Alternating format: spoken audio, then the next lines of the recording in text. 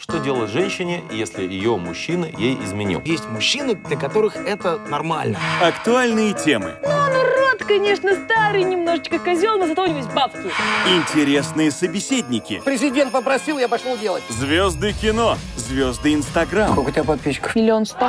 Звезды шоу-бизнеса.